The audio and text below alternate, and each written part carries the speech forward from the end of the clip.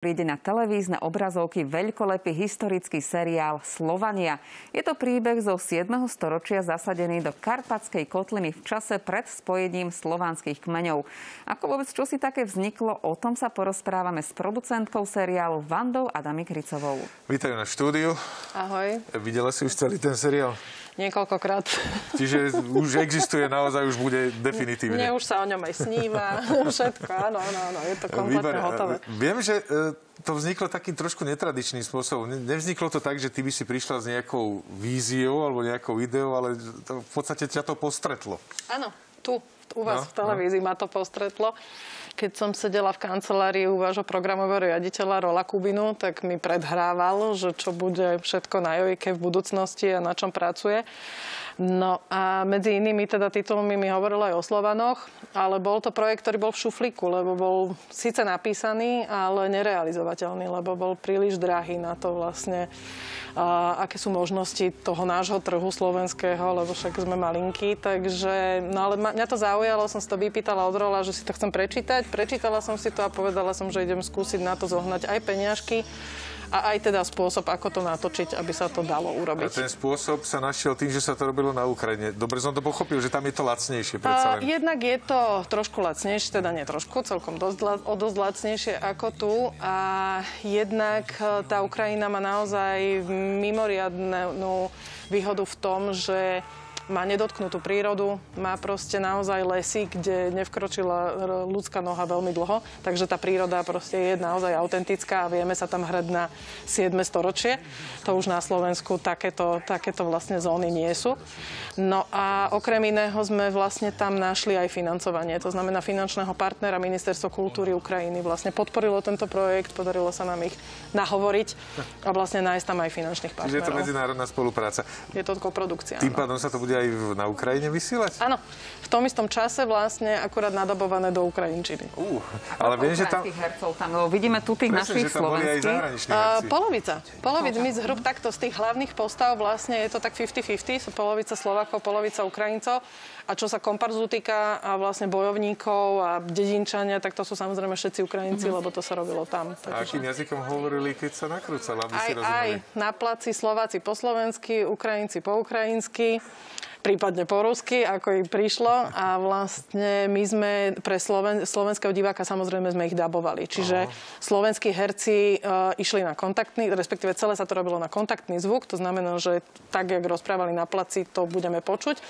Ale vlastne ukrajinských hercov dabujeme. A nevznikali potom také situácie, čo ty gavarila, ja nepoňal tebia? Ono to bolo o tom, že vlastne tí naši slovenskí herci samozrejme mali slovenské scenáre. To znamená, aj keď hrali s Ukrajincom, ktorý rozprával ukrajinsky, oni vlastne v tom scenári svojom mali napísanú slovenskú repliku, takže Aha. vedeli presne, o čo ide, samozrejme. Jasné. No, keď sa na to človek pozrie, na, aj na tieto zábery z nakrúcania, e, je to na naše pomery naozaj výpravná vec, už len z toho, že všetci musia byť dobovo oblečení, že všetky tie kostýmy sa museli robiť odpiky, to sa nedá nikde kúpiť. Nie, nie, nie, no. nie, nie, samozrejme nie.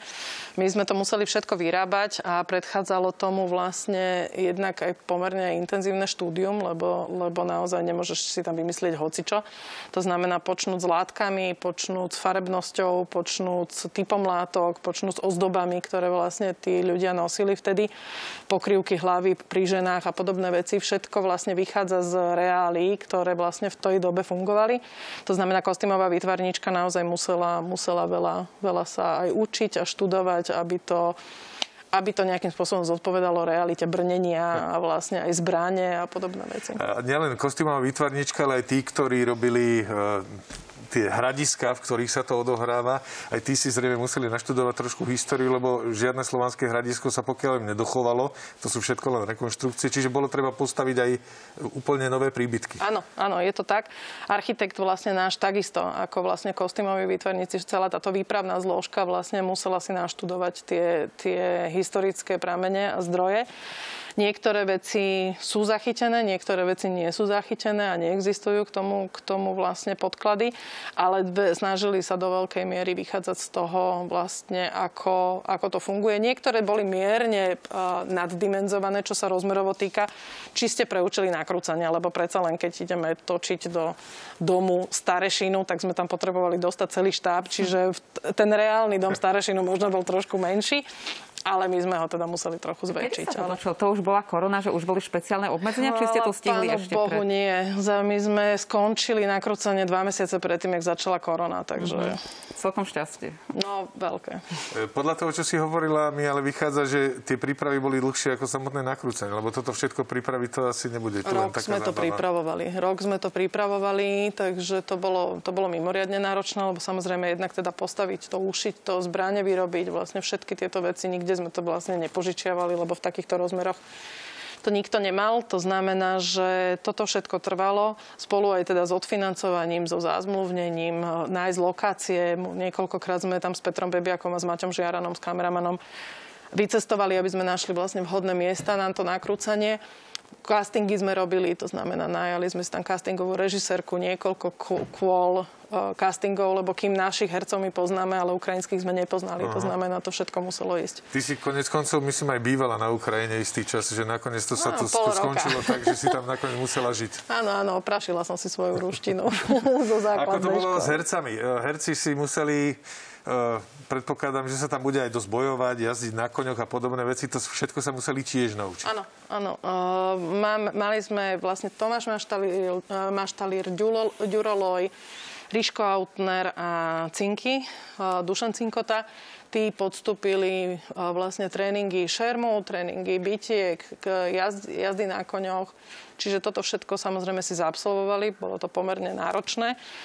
Mali tréningy aj na Slovensku, aj na Ukrajine, takže, takže celkom si zamakali. No, je to naozaj, že kopec roboty dať dokopy niečo takéto.